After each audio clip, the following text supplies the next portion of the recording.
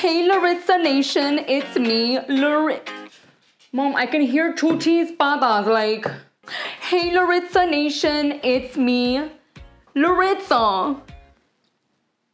It's me, Laritza. Today, I'm going to be teaching you how to make the super, pero super trendy Dalgona coffee. Super yummy. In order to get started, you're going to need the following items. Instant coffee. Um, we have La Llave because Abuela swears that American coffee is caca. Two tablespoons of sugar. Two tablespoons of hot water.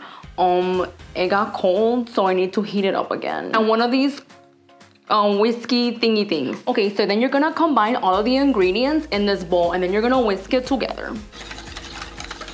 Ah, está haciendo café cubano. Um, no, abuela, it's called Dalgona coffee. ¿El qué?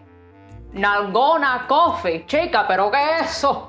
¡Qué barbaridad! Yeah, not Dalgona, abuela, Dalgona. This isn't a freaking colada, bro. This is not a Cuban espresso, okay? I found this on TikTok.